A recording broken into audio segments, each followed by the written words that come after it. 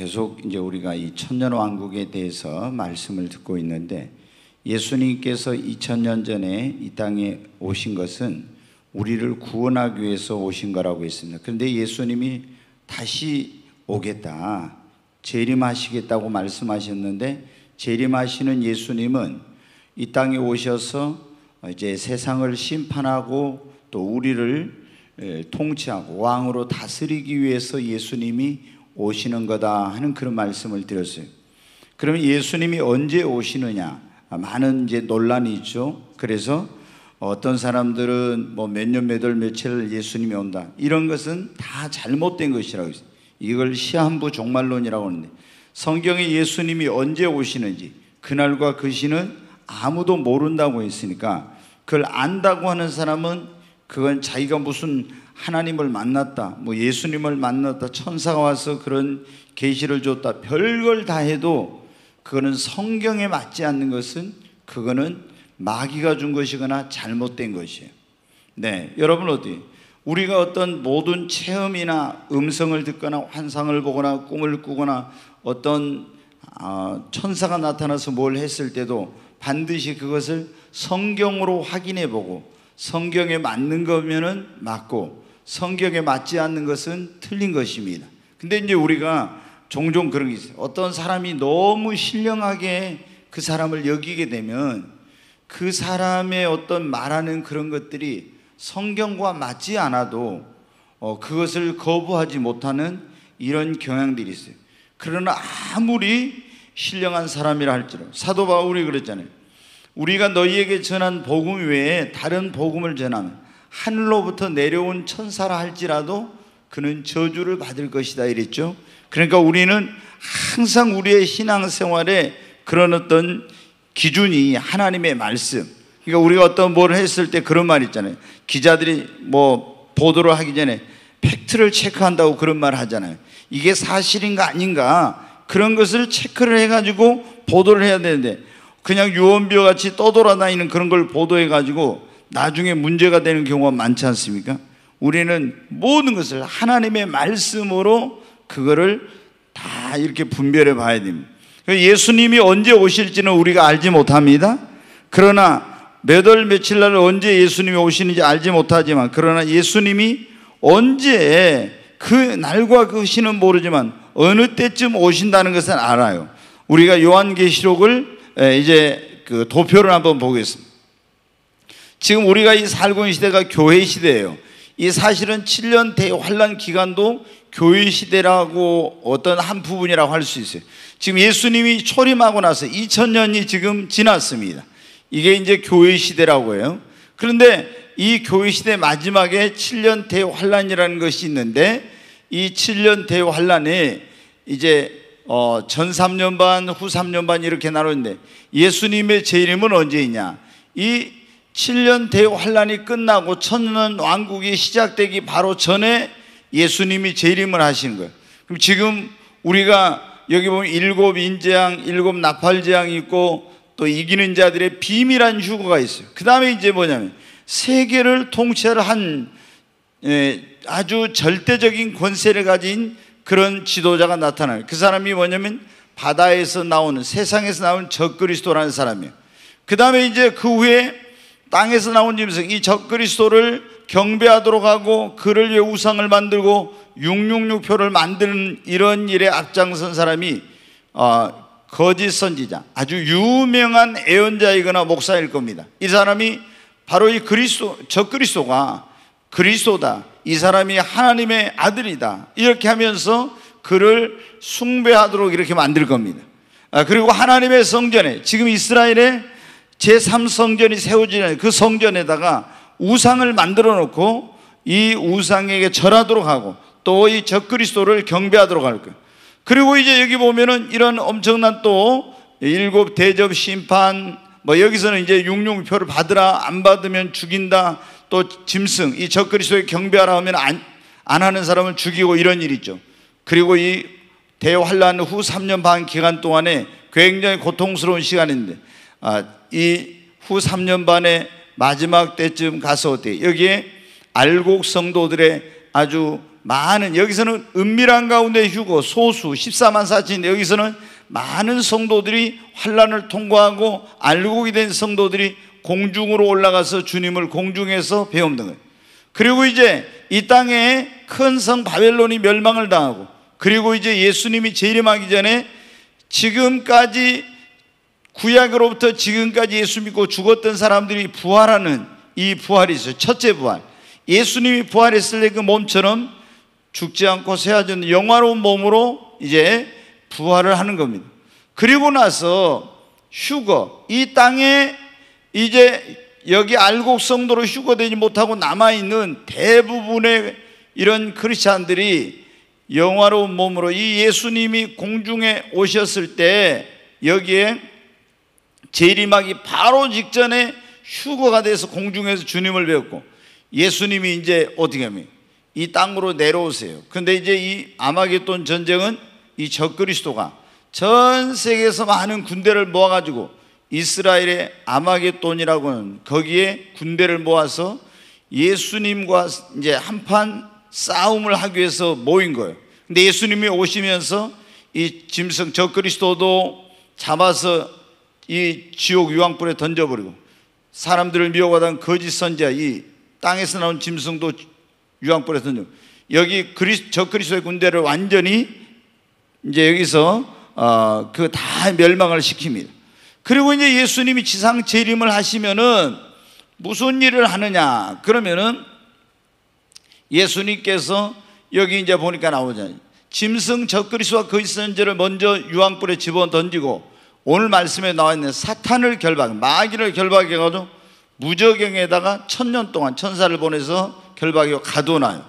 그리고 주의 종들과 성도들을 예수 믿고 구원받은 다음에 어떻게 신앙생활을 상급 심판을 하고 여기 이 대환란을 통과하고 많은 사람들이 이제 여기에 살아 있는데 그 모든 민족을 예수님이 와서 양과 염소로 구분을 한다 그랬어요. 그래가지고 이제 결국에 예수님이 만왕의 왕으로 이 천년왕국은 온 세상을 다스리시는 거예요. 그때 인류가 타락하기 전에 에덴 동산처럼 지금 이 환경이 파괴되고 오염된 이 세상이 죄악으로 가득한 세상이 천년 동안 어, 완전히 회복이 되는 모든 만물이 회복이 되는 이런 역사예요. 근데 이 만행 왕이 되신 예수님은 에루살렘 지금 이스라엘의 에루살렘에다가 수도를 정하시고 거기에 보좌를 두시고 세계를 다스리시는데 이 천년왕국에서 어, 백성이 있고 왕이 있다 지난번에 말씀을 드렸 백성은 어떤 사람이야? 주님이 재림하셨을 때 모든 민족을 그 앞에 모아서 양과 염소로 구별할 때 염소는 지옥으로 가고 마귀와 그 사자들을 예비된 지옥으로 가고 양으로 구별된 사람들은 이 천년왕국에 육체를 입은 그 사람들이 백성으로 들어간다 했어요. 그러면 이 양은 뭐냐? 그러면 이 환란 기간 동안 이 땅에 예수님 믿고 유대인들과 하나님 백성들을 도와주었던 그런 어려울 때 도와주고 했던 그 사람들이 양으로 이 천연왕국에 들어간 거예요. 그리고 여기에 보니까 첫째 부활 있죠. 이제 둘째 부활은 이 천연왕국이 끝난 다음에 있는데 첫째 부활에 참여자 복이 딱 있는데 첫째 부활에 참여한 사람들 가운데서 상급 심판을 해가지고 세 가지로 나누게 된다 그랬어요. 이걸 그대로 나누세요.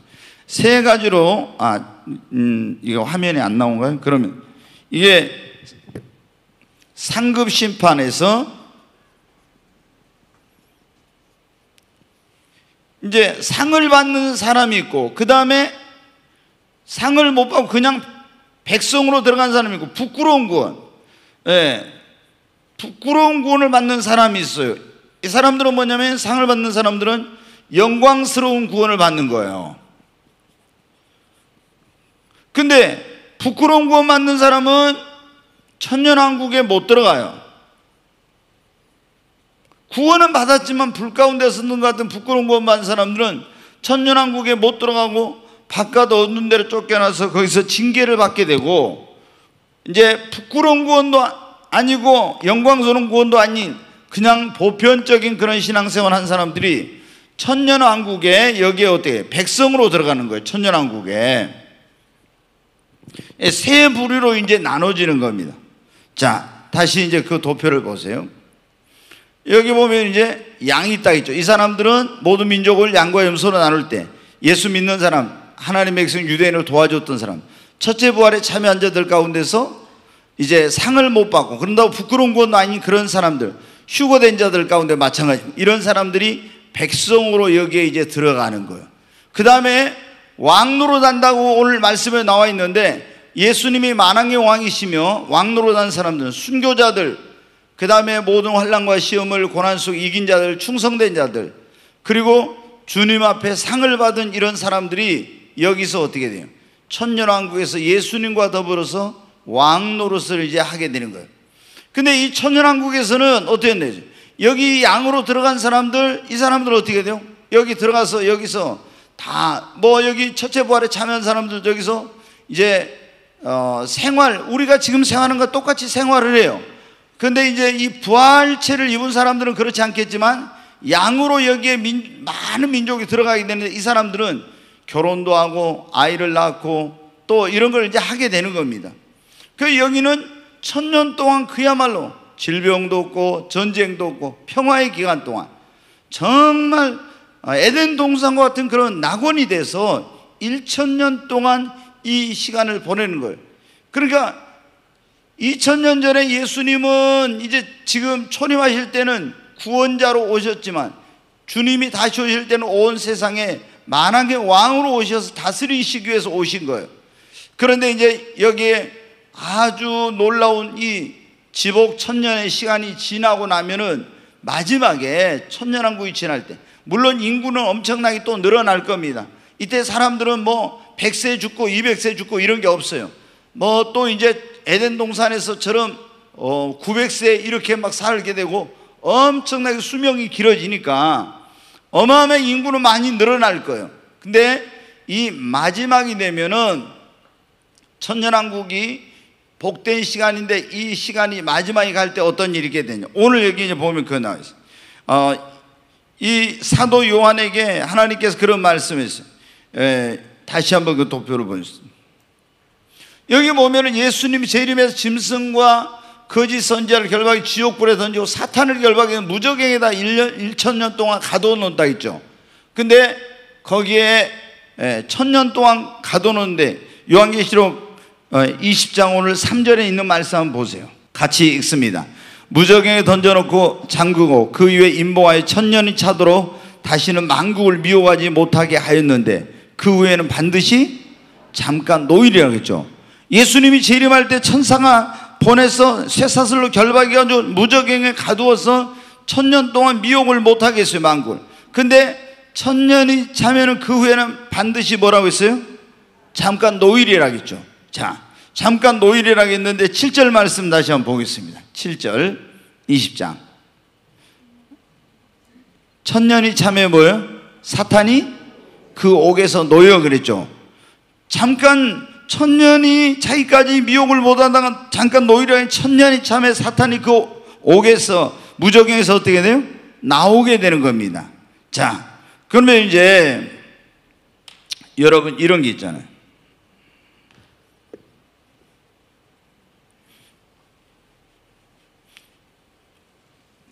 이걸 너무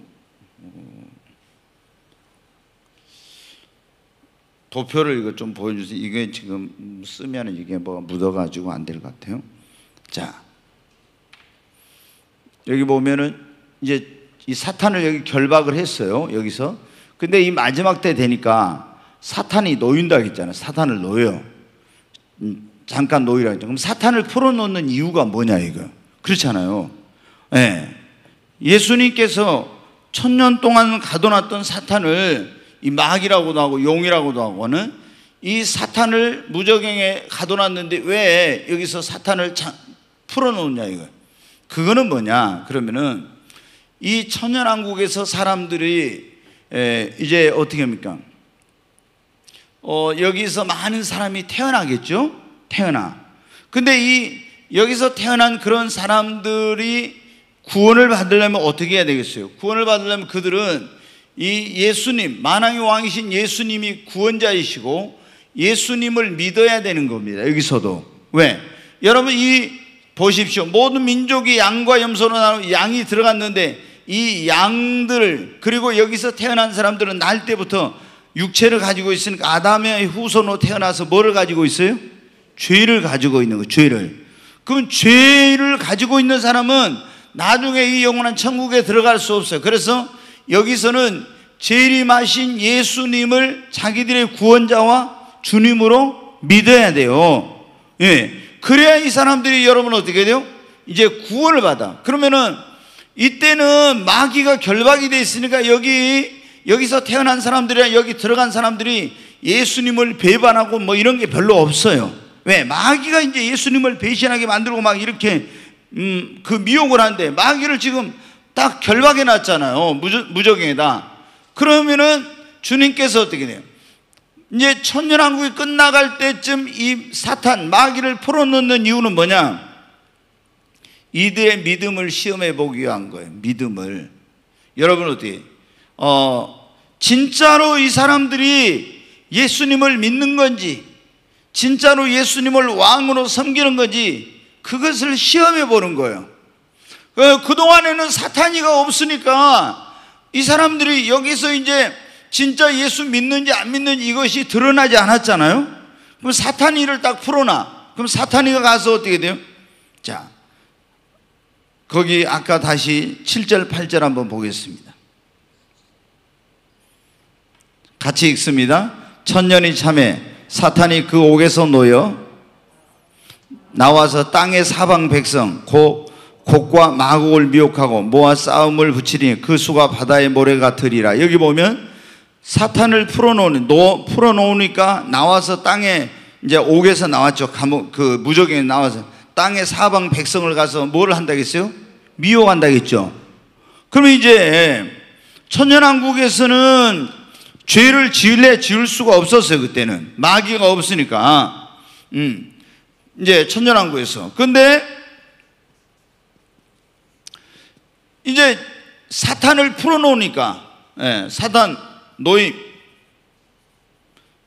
사탄을 이제 놓아놔 그러면은 이 마귀 사탄이 가서 천년왕국에서 태어난 아, 여기에 들어간 양들과 이 양에서 태어난 수많은 자녀들이 있을까? 그 아마 이 사람들이 수십억은 될 거예요. 예. 왜냐 천년 동안 아이를 낳으면 한번 생각해 보세요. 얼마나 많이 아이를 낳겠는가. 어마어마하게 아이가 나요. 그러면 수십억에 살고 있는 이 사람들이 천년왕국에서는 다 예수님이 만왕의 왕이고 또 승리한 그리스도인들, 충성된 순교자들 이런 사람들이 각 지역을 다스리는 왕이 된다겠죠. 근데 이제 그 이들 안에는 다 뭐가 있어요? 죄성이 있었어요. 근데 죄성을 가지고 있었지만 사탄이가 없었기 때문에 이런 것이 드러나지 않았어. 그 사탄을 풀어놓으면은 사탄이 가서 미혹을 하는 거예요. 그러면은 이 사람들이 다 이제 어, 천연왕국에서 예수님을 믿는다고 그랬어요. 어, 그런데 예수님을 또 왕으로 섬겼어요. 이 사람들이 예수를 믿고 왕으로 섬겼는데 사탄이가 딱 미혹을 하면 어떻게 돼요? 진짜 이 사람들이 믿는지, 진짜 예수님을 왕으로 섬기는지 아는지 이게 뭘 받겠어요? 시험을 받는 거예요, 시험을. 시험을 해봐. 여러분, 우리가 성경에 보면은 주님께서는 항상 어디 에덴 동산에서도 그랬잖아요. 하나님이 모든 걸 다 만들어 주시고 뭐를 따먹지 말라겠어요? 선악과를 따먹지 말라. 그거는 뭐예요? 아 이게 선악과를 따먹지 말라고 한 것은 하나님을 진짜 하나님으로 믿고 하나님 말씀에 순종하는지 그렇지 않은지 이거를 보기 위해서 그런 거예요. 근데 마귀란 놈은 어떻게 합니까?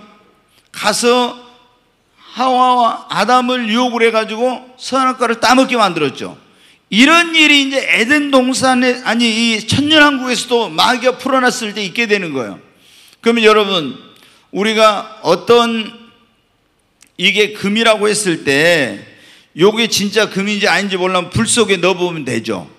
불 속에 넣으면 타져버리면 이건 어떻게? 금이 아니야. 어, 그러면 우리가 믿음을 갖는 진짜 믿음인지 아닌지 알려면 어떻게? 불같은 시험을, 시험을 해봐야 시험을. 그럼 그 시험 가운데서 그걸 이겨낸 사람은 진짜 믿음을 가지고 진짜 예수님을 왕으로 섬기고 예수님을 믿는 거지만은 그때 예수님을 배반하고 예수님을 버리고 사탄을 쫓은 사람은 진짜 믿음이 아니라는 것이 드러나는 거잖아요. 그래서 예수님께서 마귀를 풀어놓는 거예요. 여러분 우리가 성경에 보면 그런 말씀이에요. 알고 가고 이제 알고 가고 쭉정이를 나눌 때 쭉정이 이걸 알고 가고 쭉정이를 이걸 나눌 때 어떻게 하면 퀴즈를 하는 거예요. 퀴즈를. 그럼 퀴즈를 하면 알고는 안으로 안으로 안으로 들어 쭉정이는 밖으로 밖으로 밖으로 나가죠. 그러니까 이게 퀴즈란다는 게 뭐야? 시험을 하고 나를 흔들어 보는 거예요. 그러면 이런 시험이 오고 환란이 오고 이런 것이 왔을 때 주님 품으로 그리고 교회 안으로 이렇게 들어온 사람은 알곡이고 좀 시험이 오면은 그냥 탁 튕겨 나가지고 세상으로 가버리고 이런 사람은 이게 뭐예요? 쭉정이라는 거예요, 쭉정이. 겉으로 볼 때는 알고 같지만 알고의 쭉정이. 그러니까 예수님께서 마지막 때 이 마귀를 풀어놓는 이유가 뭐냐면 바로 이렇게 정말로 예수님을 믿고 만왕의 왕으로 섬길 것인지 아닌지를 시험해 보기 위해서 또 하나는 그들의 믿음을 시험해 보기 위해서요. 정말 이들이 참 믿음을 가지고 있는지 아니면은 어, 정말 이런 거짓된 믿음인지 이것을 시험을 해보면 바로 이제 그게 드러나는 거예요. 근데 그때 끝까지 믿음을 지키고 예수님을 왕으로 섬기기로 한 사람도 있겠지만은 그렇지 않고 사탄의 미혹에 넘어가서 어떻게 돼요? 사단이 미혹할 때 거기 넘어가지고 주님을 배반하고 사탄의 편에 서는 사람들도 그때 굉장히 많이 있게 된 거예요. 어, 그래서 이제 아까 거기 다시 말씀 한번 8절 한번 보여주세요. 여기 나와서 땅의 사방 백성 곡, 곡과 마곡을 미혹하고 모아 싸움을 붙이니 그 수가 바다의 모래 같으리라. 이러니까 그러면 그때 반역한 사람이 많다는 거예요, 적다는 거예요? 어마어마하게 많다는 거예요, 어마어마하게. 네, 여러분들 엄청난 그러니까 자 다시 그 도표를 보여 주세요. 이제 예수님이 여기서 왕으로 다스린 여기 들어간 사람들이 여기서 이제 태어나고 그리스도인들도 여기서 어, 이 안에 백성으로 된 사람들, 뭐 왕으로 된 사람들은 반역할 사람이에요. 그러나 여기 그리스도인들도 반역할 수 있을지도 몰라. 이게 왜냐? 그러면은 이 부활에 들어갔지만 이 사람들이 뭐가 있어요? 자유의지가 있으니까. 자유의지가 없으면 로봇 같으면 반역이나 이런 게 없지만은 마귀의 유혹에 넘어가 또 반역할 수 있을지도 혹시 모르겠어요. 그거는 잘못. 그런데 이 양으로 들어간 사람들은 여기서 구원받으면 반드시 누구를 믿어야 돼? 예수를 믿어야 돼. 예수님을 왕으로 어, 구원자로 왕으로 믿고 섬기고 순종해야 되는 거예요. 근데 이제 마귀가 놓여서 이들을 시험해요. 그럼 가서 미혹할 때 많은 사람들이 바다의 모래알처럼 많은 사람이 사탄의 미혹에 당, 넘어가지고 이 곡과 마곡을 따라서 예수님을 대적하는 그런 일을 하게 되는 거예요. 네. 예, 계시록 20장 7절 8절 다시 한번 보겠습니다. 예, 같이 읽겠습니다. 천년이 참에 사탄이 그 옥에서 놓여 나와서 땅의 사람 아, 사방 백성 곧 곡과 마곡을 미혹하고 모아 싸움을 붙이리니 그 수가 바다의 모래 같으리라. 여기 보니까 천년이 참에 사탄이 옥에서 무적에서 나와서 나가서 땅의 사방 백성 곧 곡과 마곡을 미혹하고 어, 그리고 모아서 싸움을 붙이니 그 수가 바다의 모래 같으리라 이렇게 했죠. 자 여기 보니까 곡과 마곡을 미혹하여 싸움을 붙인다 그랬어요. 이들이 이제 예수님을 대적하게 되는 건데 자. 이 마귀가 가서 미혹할 때 거기 미혹된 나라들이 나와요. 이게 이제 곡과 마곡이라 나오는데 이게 자세하게 나온 데가 있는데 구약 성경 에스겔서 이게 자세히 나오는데 그걸 한번 보겠습니다. 이 곡과 마곡 이런 나라들은 어떤 것을 말하는지. 자, 에스겔서 38장 1절부터 보겠습니다. 같이 읽습니다. 여호와의 말씀이 내게 임하여 이르시되 인자야 너는 마국 땅에 있는 로스와 메색과 두바랑 고개계로 얼굴을 향하고 그에게 애언하여 계속 읽어 이르기를 주 여호와께서 이같이 말씀하시기를 로스와 메색과 두바랑 고가 내가 너를 대적하여 너를 돌이켜 갈고리로 내 아가리를 꿰고 너희 말과 기마병 곧 내 온 군대를 끌어내되 완전한 갑옷을 입고 큰 방패와 작은 방패를 가지며 칼을 잡은 큰 무리와 그들과 함께한 방패와 투구를 갖춘 바사와 구스와 북과 아, 고멜과 그 모든 때와 북쪽 왕의 도갈마 족속 어, 북쪽 끝에 도갈마 족속 그 모든 때 곧 많은 백성의 무리를 너와 함께 끌어내리라 그랬죠. 자, 다시 1절부터 한번 봐요. 여호와의 말씀이 내게 임하여 에스겔에게 임하여 그런 말씀이에요. 이르시기를 2절 인자 너는 곡과 마곡 땅에 너는 마곡 땅에 로스와 그리 조금 전에 곡과 마곡을 가서 이렇게 마귀가 한 그들을 미혹해서 싸움을 붙인다 했죠. 근데 여기 보니까 너는 마곡 땅에 있는 로스와 메색과 두바랑 곧 고개계로 얼굴을 향하여 그들의 그에게 애원하여 여기 곡도 나오죠. 마곡 땅에 있는 로스와 메색과 두발왕 곧 고개계로 여기서 여러분 어때요? 이스라엘 북쪽에 있는 이 마곡이라는 것은 이스라엘 북쪽 어, 옛날로 하면 소련 같은 이런 쪽을 이제 가리키는 북쪽을 가리켜요. 그럼 여기 보니까 뭐가 나온 로스가 나오는데 이 로스는 오늘날로 말하면은 현대적인 거로는 러시아를 말해요. 러시아. 그 다음에 로스와 메섹이라고 나오죠. 이것은 모스크바를 말해요. 모스크바의 옛 이름. 이게 그 당시는 어, 러시아를 로스라고 하고 지금 모스크바를 메색이라고 했어요. 두바랑 여기에서 두발은 뭐냐면 시베리아를 가리키는데 고개계로 이게 이제 이 예, 러시아 그 북쪽에 있는 왕을 말하는 겁니다. 곡이라는 것은 얼굴을 향해. 그러니까 지금 요한계시록 20장에 그것이 이미 벌써 에스겔을 통해서 하나님께서 오래전에 말씀을 해 놓으셨어요. 말세에 어떤 일이 있게 될 것인지 그거를 자 그런데 여기 보니까 곡이라고 하는 두발 왕이 마곡 있는 로스와 메색을 데리고 이제 어디로 오냐면 이스라엘을 치러 오는 거예요. 자, 계속 보겠어요. 다 3절.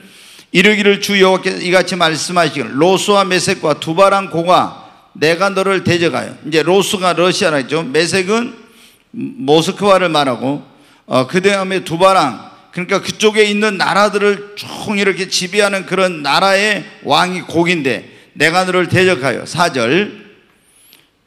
너를 돌이켜 갈고리는데 아가리를 깨고 너의 너와 말과 기마병 곧 내 온 군대를 끌어내 완전한 갑옷을 입고 쭉 해가지고 방, 작은 방패를 가지며 칼을 잡은 큰 무리와 5절 그들과 함께한 방패와 투구를 갖춘 바사와 이게 바사가 뭐냐 그러면 여러분이 들었을 거예요 바사왕 고레스 그런 말씀 들었잖아요 이게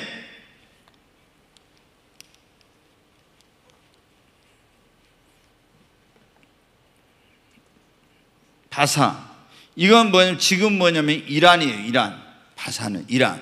그 다음에 구스가 나오죠. 구스는 어디예요? 여러분 좀 들어봤잖아요. 어디? 에디오피아. 그 다음에 붓. 붓이라고 나오죠. 예. 이거는 리비아예요. 그 다음에 또, 또 있을 겁니다. 뒤를 넘겨보세요.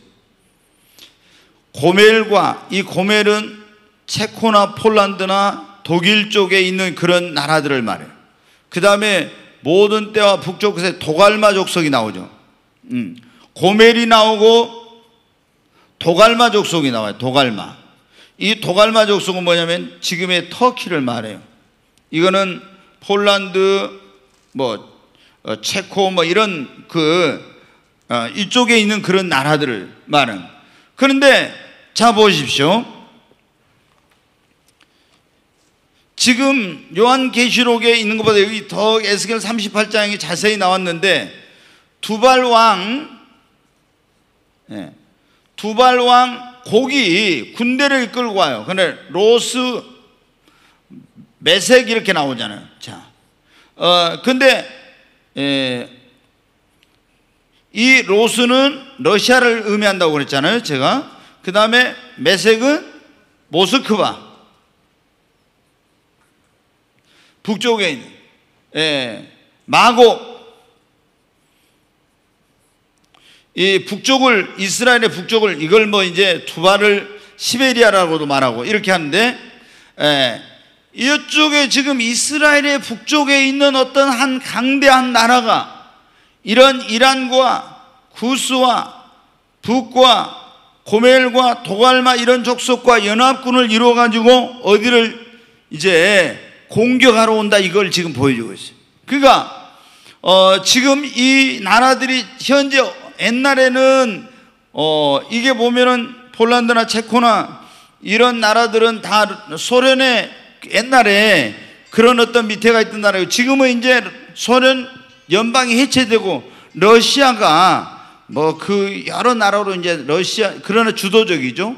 거기 뭐 키르기스탄, 우즈베키스탄 뭐 아는 무슨 스탄 스탄 해가지고 다 갈라졌잖아요. 근데 지금도 푸틴이 지배하고 있는 러시아가 굉장히 강대국이에요. 그리고 이 러시아하고 이 나라들은 전부 거의가 다 어떻게 돼요? 가까운 나라들이에요. 다 그렇죠? 예, 네, 굉장히 가까운 나라. 그래서 이걸 봤을 때 추측하건데 아, 그 마지막 때에도 러시아 그쪽에 있는 중심으로 한 이런 나라들이 큰 연합군을 이루어 가지고 어, 사방에 가서 미혹을 한다고 했잖아요. 그러니까 수많은 나라에 여기에 이름을 나오지만 이름이 안 나온 나라들도 많이 가서 사탄이 어떻게 돼요? 미혹을 해요.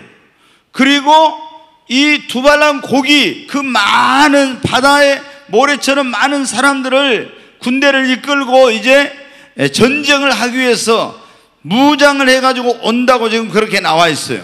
그러면은 그들이 누구와 싸움을 벌이기 위해서 오는가? 에스겔 38장 한번 보겠습니다. 같이 한번 읽습니다.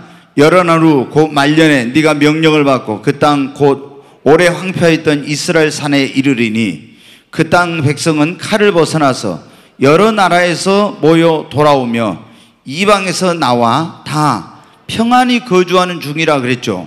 여러 날 후에 곧 말년에 그러니까 이 세상 끝에 네가 명령을 받고 그 땅 곧 오래 항폐했던 이스라엘 산에 이르르니 그 땅 백성은 칼을 벗어나서 여러 나라에서 모여 돌아오며 이방에서 나와 다 평안히 거주하는 중이다. 여러분, 어, 자 이제 다시 한번 도표를 보여주세요.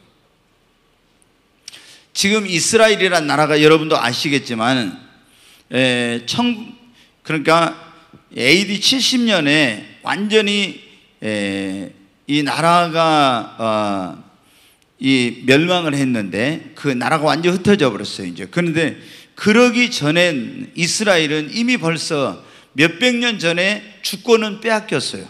그런데 AD 70년 로마의 디도 장군에 의해서 예루살렘이 완전히 정복당하고 모든 사람들이 어떤 전 세계로 디아스포라가 돼가지고 다 흩어졌어요. 근데 이 사람들이 바벨론 땅에도 예전에 포로로 잡혀가고 아수르의 북이스라엘이 멸망에 포로로 잡혀갔는데 돌아올 때도 있었어요. 뭐 그런데 그 로마에 의해서 멸망하고 전 세계로 흩어져서 이 사람들이 거의 1900년 동안 나라가 없이 세계에 흩어져 있었어요. 그전 세계 유대인이 없는 나라가 없이 다 흩어져 있고 독일 히틀러에서는 600만 명이 죽임을 당했고 어, 러시아에 가서도 많은 사람들이 죽임을 당하고 전 세계에 흩어져 있어. 근데 이, 이 사람들이 뭐 무슨 운동을 하냐면 이스라엘로 고토로 돌아오기 위한 귀한 운동, 회복 운동을 해요. 그 지금 전 세계에서 구소련 시대에서부터 막 돈을 주고 유대인들이 세계적으로 성공한 그런 사업가들이 돈을 엄청나게 주고 유대인들이 막 돌아오기 시작했어요. 근데 지금도 전 세계에 지금 팔레스타인에 살고 있는 유대인들보다도 전 세계에 흩어져 있는 유대인들이 훨씬 더 많습니다. 그런데 이제 이들이 이 천년왕국 시대가 되면은요, 전부 다 이제 돌아와요. 돌아. 지금도 돌아오고 있죠. 그래서 그들이 이제 이, 이 이때 이제 제3성전을 건축하게 되는데 이 천년왕국 때 전 세계에 있던 유대인들이 다 어, 팔레스타인 땅으로 돌아옵니다. 그런데 이 사탄이 놓여가지고 미혹한 곡과 마곡의 군대가 어, 연합군들이 어디로 가냐? 에루살렘이 있는 거기 유대 이스라엘 지금 평안히 이제 돌아와서 살고 있는 유대인들은 같은 곳마다 박해를 당했잖아요. 칼과 이런 위에서 죽임을 당하고 고통을 당했죠. 근데 이제 이런 걸 벗어나서 고토로 돌아온 천년왕국 때 이들이 팔레스타인에서 아주 편안하고 안락하게 이렇게 지내고 있는 거예요. 그런데 이 곡과 마곡의 군대가 이스라엘을 이제 침략을 하는 겁니다. 거기 말씀 다시 한번 그 밑에 계속 보겠습니다. 8절 아까 봤는 9절 같이 읽습니다. 네가 올라오되 너와 내 모든 때와 너와 함께한 많은 백성이 광풍같이 이루고 구름같이 땅을 덮으리라. 어마어마한 이제 사람들이 오는 거죠. 군대가 계속 보겠어요. 주 여호와께서 이같이 말씀하셨네. 그날에 네 마음에서 여러 가지 생각이 나서 악한 꾀를 내어 말하기를 내가 평온의 고을들로 올라가리라. 성벽도 없고 문이나 빗장이 없어도 염려 없이 다 평안히 거주하는 백성에게 나가서 이스라엘이 지금 돌아와서 이제 편안히 살고 있다는 거예요. 물건을 겁탈하며 노래가리라 하고 네 손을 들어서 황폐했다가 지금 사람이 거주하는 땅과 여러 나라에서 모여서 짐승과 재물을 얻고 세상 중앙에 거주하는 백성을 치고자 할 때 이거 보면 돼. 이스라엘이 이제 치러 온다는 겁니다. 이 군대가 이스라엘 하나님 택한 백성이잖아요. 그들을 멸하러 이제 이스라엘 땅으로 엄청난 곡과 마곡 그리고 그 연합군들이 막 어마어마한 군대가 이제 오는 거예요. 그 다음에 또 이 군대가 뭘 하냐? 그러면 계시록 20장 9절을 보겠어요. 어, 자, 같이 한번 보겠습니다. 그들이 지면에 널리 퍼져 성도들의 진과 사랑하시는 성을 두르매 하늘에서 불이 내려와 그들을 태워버리고 여기 보면 그들이 지면에 널리 퍼져 성도들의 진과 그랬죠. 네. 자, 이제 다시 그 도표를 보세요. 여기 보면은 여기에 지금 어, 천년왕국에서 첫째 부활에서 백성으로 들어간 사람들이 전 세계 그리스도인들이 흩어져 살고 있어요. 그리고 왕으로 다스리는 그런 사람들이 있어요. 전 세계 흩어져서 있죠. 그런데 이 지금 곡과 마곡이 중심이 된 이런 군대들이 금방 20절에 하나 성도들의 구절 봐보세요. 그 그들이 지면에 널리 퍼져 성도들의 진과 그랬죠. 성도 성도가 누구예요? 예수 믿는 사람. 조금 전에 유대인 나왔죠. 유대인을 없애려고 성도들의 진을 그 다음에 사랑하시는 성을 두름에 그랬죠. 지금 사랑하시는 성이 뭐냐? 에루살렘이에요. 그 에루살렘에 누가 있습니까? 그때 에루살렘은 세계 천년왕국의 수도인데 거기에 만왕의 왕이신 예수님이 계시는 거예요. 그러니까 이 곡과 마곡의 군대들은 뭐를 위해서 유대인들을 평안히 거주하는 유대인들을 죽이고 그 나라를 점령하고 온 지면에 흩어져 살고 있는 성도들을 갖다가 괴멸시키고 그리고 예수님이 왕으로 통치하고 다스리고 계시는 에루살렘 성을 둘러가지고 예수님을 그 만왕의 왕의 자리에서 쫓아내버리고 이제 사탄이 왕 노릇하는 이런 일을 하려고 한다는 것입니다. 지금. 네. 거기 에,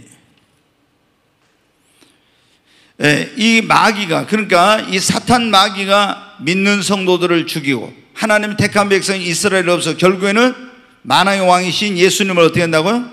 어, 그 하시는 그 에루살렘 성을 점령해 가지고 사탄이 자기 세상을 만들어 가지고 자기가 왕노로 달려고 한다는 거예요. 그러나 두바랑 고기 거느린 그 연합군은 어떻게 되냐? 에스겔서 38장 18절부터 한번 보겠습니다. 그 그렇게 공격하던 그들이 어떻게 된가? 자, 같이 한번 보겠습니다. 그날의 고기 이스라엘 땅을 치러 오면 내 노여움이 내 얼굴에 나타나리라. 주 여호와의 말씀이나. 그러니까 이제 고기 그 이제 왕이죠. 이 사람은 두발왕 곡인데 그 군대를 어마어마한 군대를 고 이스라엘 땅을 치러 올 때 하나님이 구약에 말씀하셨어요. 이 에스겔서는 거의 유대인들에게 하신 말씀. 내 노여움이 내 얼굴에 하나님이 나타나리라고 주 여호와의 말씀이라. 자, 계속 보겠습니다. 그래서 어떤 일? 내가 질투와 맹렬한 노여움으로 말하였거니와 그날에 큰 지진이 이스라엘 땅에 일어나서 큰 지진이 일어나 이제 하나님께서 일어날 노여움으로 지진을 일으켜. 그래서 그들을 이제 지진으로 하나님께서 어떻게 많은 사람을 죽게 만드는 많은 군대를 그 다음에 계속 보겠어요. 또 바다의 고기들과 공중의 새들과 들의 짐승과 땅에 기는 모든 벌레와 지면에 있는 모든 사람이 내 앞에서 떨 것이며 그러있잖아 어마어마한 지진은 모든 산이 무너지며 절벽이 떨어지며 모든 성벽이 예, 성벽이 땅에 무너지려나 엄청난 지진이 일어나는 거예요. 계속 보이 21절. 주 여호와의 말씀이나 내가 내 모든 산 중에서 그들을 칠 칼을 부르리니 각 사람이 칼로 그 형제를 칠 것입니다. 자, 이들이 이제 연합군을 이끌 연합군이 돼가지고 왔는데 그들이 어떻게 하나님께서 그들에게 분쟁을 일으키게 해가지고 서로 자기들끼리 칼로 죽이고 이런 이제 자기들끼리 싸워서 죽이는 이런 일을 이제 칼로 그 형제를 칠 거예요. 각 사람 이런 일이 일어나는 거예요. 그 다음에 이제 계속 보이죠. 내가 또 전염병과 아, 전염병으로 하나님께서 엄청나게 죽여요. 또 피로 그들을 신원하며 어마어마한 그런 살육이 있게 한 거예요. 그 다음에 쏟아지는 폭우와 엄청난 어, 뭐 이번에 중국에서 작년에도 그렇고 올해도 그렇고 뭐그 뭐 엄청나게 사람들이 지금 죽고 어, 독일 같은 데도 막 물난리로 천년에 뭐 한번 뭐 중국에서도 뭐 어, 뭐 어떤 그런 이번에 이제 홍수 폭우 피해가 있었네. 그 다음에 또 큰 우박덩이와 이게 뭡니까? 우리가 하나님께서 애굽 땅을 심판할 때 어, 뭐 엄청난 그 백근이나 되는 우박이 떨어져 가지고 우박에 맞아 사람이 죽고 짐승이 죽는 막 이런 일이 있었잖아요. 그래서 이런 큰 지금 보면 지진과 그 다음에 자기들끼리 분쟁에 싸우다 죽고 전염병과 살육과 쏟아지는 폭우와 큰 우박동이로 이렇게 죽고 그리고 많은 백성이 비를 내, 여기 보면 불과 유황으로 또 그랬죠. 그 다음에 불과 유황 불과 유황을 그와 그 모든 무리와 그와 함께하는 많은 백성에 비를 내리다 한데 소동과 고모라의 불과 유황을 내린 것처럼 그렇게 내려가지고 그 많은 바다의 모래알처럼 수많은 그 오는 하나님의 성도들을 진을 공격하고 유대인들을 멸하려고 하고 그리고 에루살렘 성을 보위해서 예수님을 대적하려고 이 무리를 하나님이 완전히 심판해 버린다는 거예요. 완전히. 언제요? 천년왕국 후반부에 천년왕국이 끝나갈 때 마귀가 가서 이런 어떤 미혹을 했을 때 거기 미혹된 사람들이 이렇게 이런 짓을 하는데 그때 하나님께서 이런 심판을 하신다는 거예요. 자, 어, 그 다음에 20장 9절에도 보겠습니다. 아까 조금 전에도 그 나왔었는데 같이 읽습니다. 그들이 지면에 널리 퍼져 성도들의 진과 사랑하시는 성을 두름에 하늘에서 불이 내려와 그들을 태워버린다겠죠. 네. 하늘에서 불이 내려. 그러니까 불과 유황으로 이 에스겔서에 그들을 멸한다고는 말씀하고 똑같은 그런 내용이에요.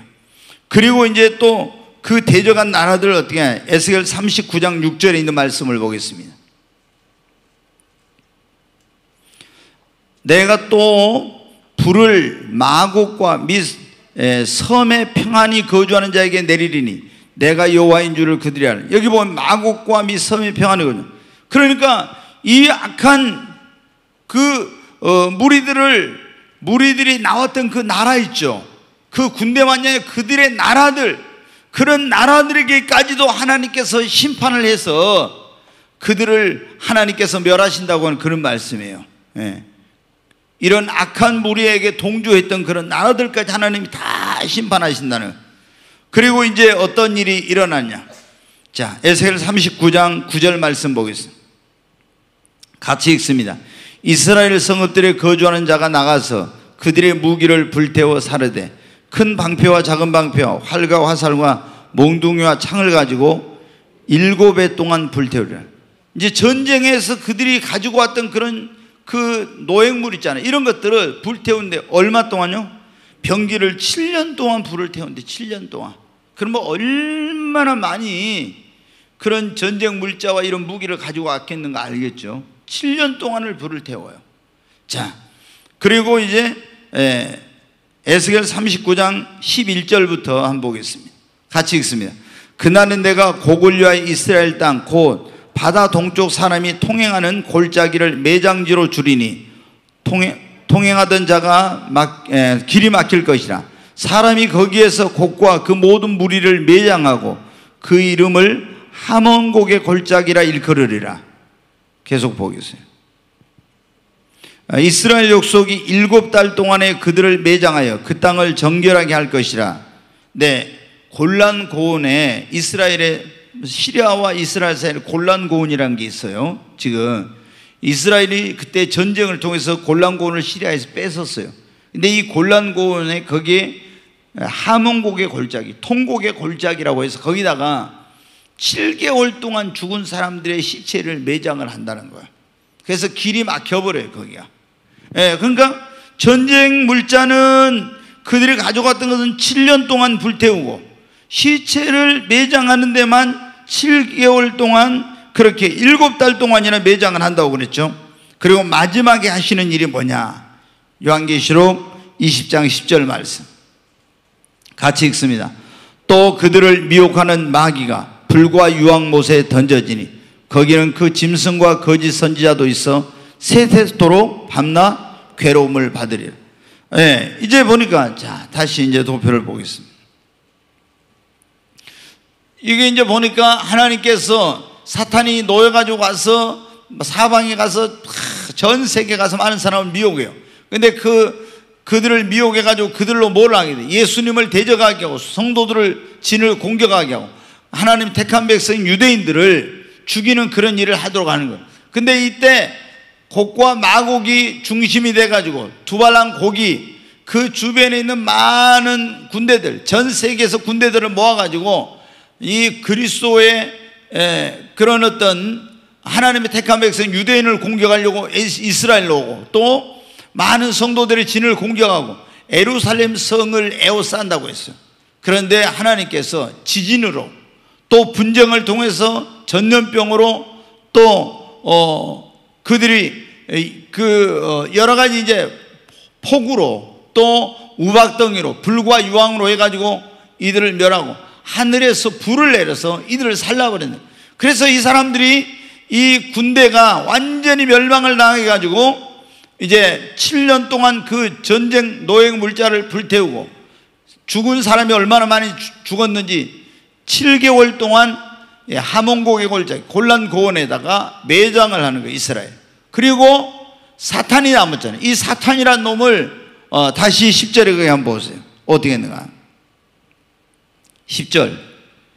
그게 보면 그들을 미용하는 마귀가 불과 유황못에 던져지니 그랬잖아요. 마귀를 잡아가지고 어떻게 돼요?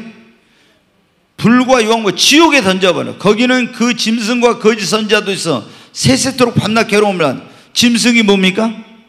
저 그리스도잖아요. 그 다음에 거짓 선지자. 자 여기 보면은 이 에, 이제 됐어요 이거 이걸 여기 보면은 짐승과 거짓 선지를 지옥불에 던져버렸었잖아요. 예수님 지상 재림했을 때. 근데 이 사탄을 짐승과 거짓 선, 적그리스도와 거짓 선조가 있는 지옥불에다가 던져버린다는 거야. 자, 우리가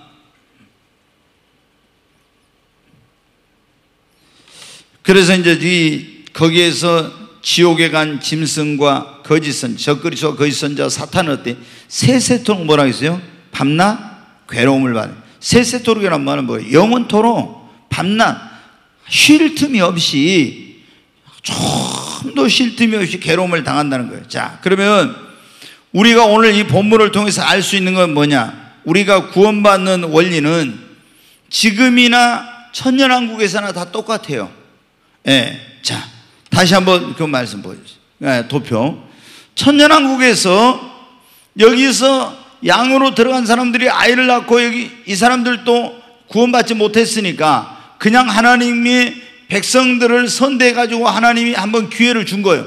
그럼 이들도 예수님을 구원자로 믿고 왕으로 섬기고 또 여기서 태어난 모든 사람은 죄성을 가지고 태어났으니까 다 여기서 예수님을 믿고 어떻게 돼요? 구원을 받아야 되는 거예요. 여기서도 지금 우리가 여러분 어때요? 우리가 살고 있는 교회 시대에도 우리가 어떻게 돼요? 예수 그리스도를 구원자로 믿고 주님의 말씀을 순종해야 구원받는 겁니다. 아멘. 똑같아요, 똑같아. 그러니까 여기서 태어난 사람들은 아우 천년왕국에 태어났으니까 다 천국 가는 그게 아니에요.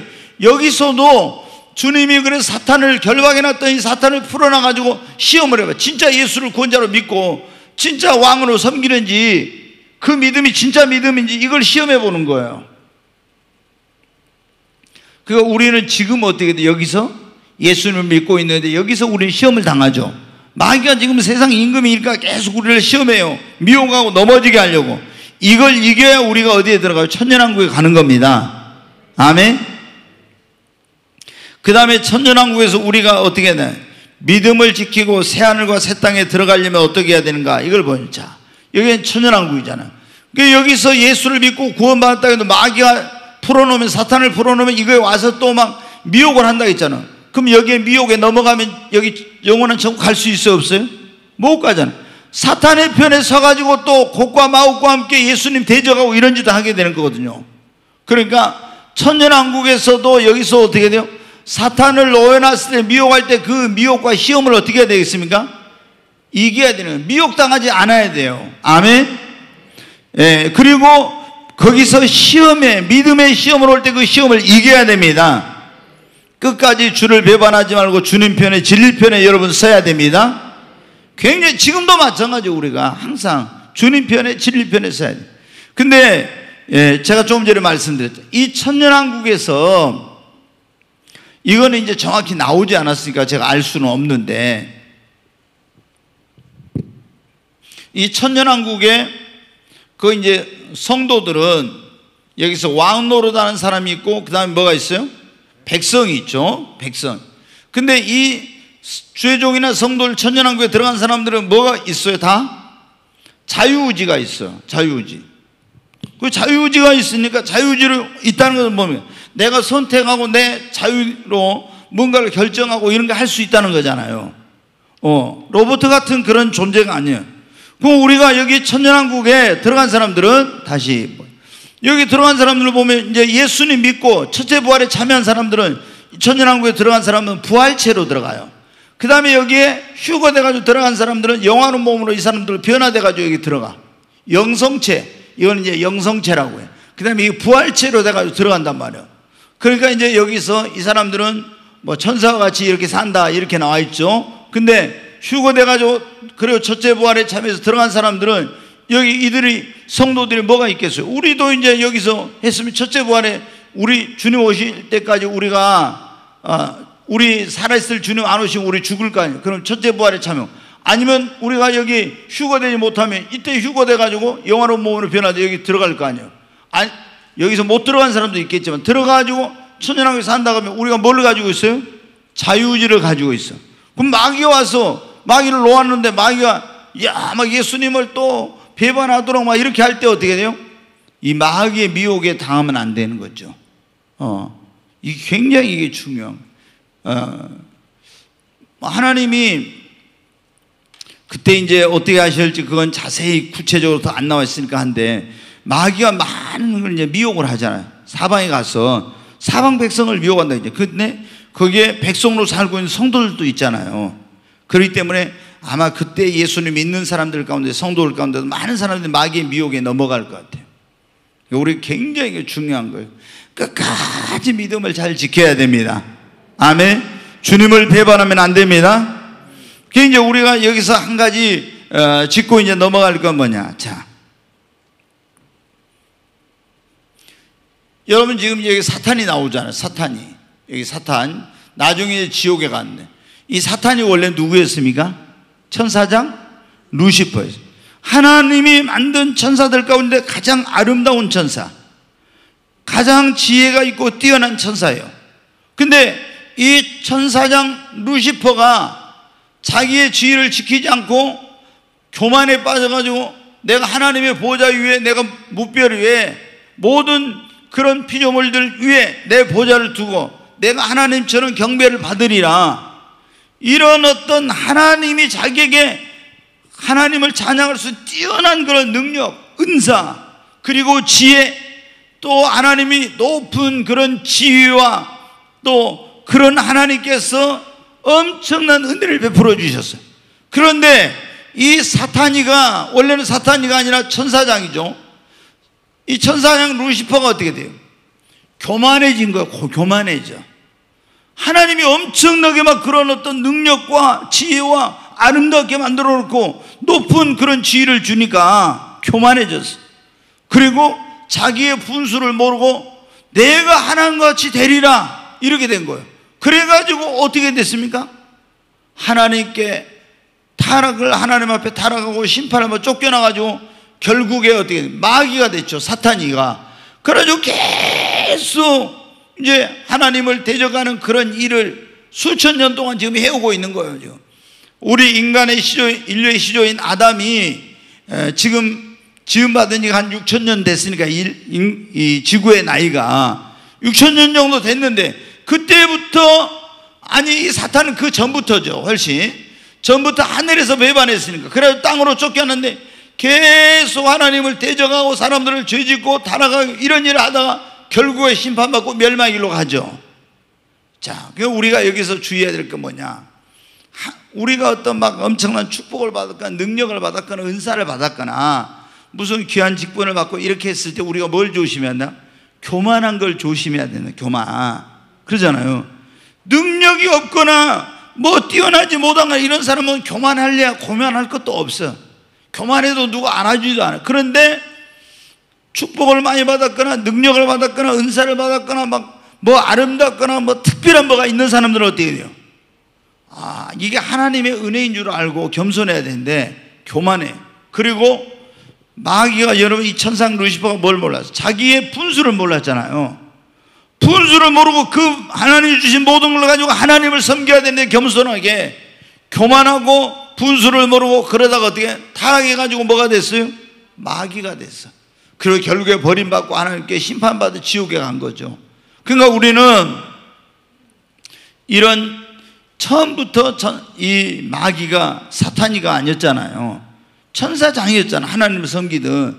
그런데 이렇게 해가지고 하나님께 버림받고 심판받고 지옥에 않습니까?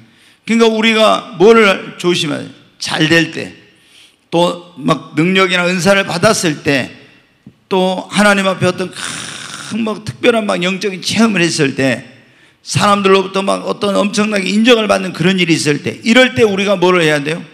조심해야 되는 거예요. 아멘. 그렇지 않으면은 우리도 이 사탄이의 전철을 밟을 수가 있다 이 말입니다. 네. 굉장히 이게 두려운 일이죠. 이제 천년왕국 지금 이제 끝에까지 거의 왔는데 좀 아마 여러분이 이 부분들이 좀 어려울 거예요. 제가 굉장히 쉽게 지금 한다고 했는데 그래서 계속 도표를 하는 이유가 뭐예요? 그러니까 아 이제 이제 어느 정도 7년 대활량이 어떻게 되구나 이제 천년왕국이 어떻게 되구나, 예수님 어떻게 재림하냐, 뭐 하구나. 이게 이제 많이 각인이 됐을 거예요. 이게 반복적으로 이렇게 하니까. 예, 다음 이제 시간에는 최후의 심판에 대해서 이제, 아, 그 어떤, 오늘은 보면 최후의 전쟁이에요. 곡과 마곡의 전쟁이 예, 이 지구상에서 있게 될 가장 마지막 그런 전쟁인데 이 최후의 전쟁을 했다고 하면은 다음 시간에는 이제 아, 최후의 심판, 백보자 심판이 어떻게 이루어지고 어떻게 되는지 그것에 대해서 말씀을 드리도록 하겠습니다.